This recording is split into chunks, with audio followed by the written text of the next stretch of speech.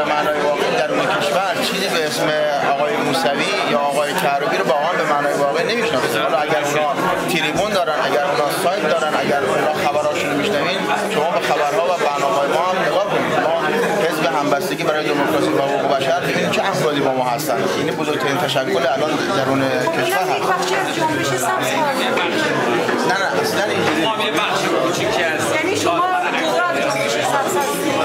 جنبش ایران هستیم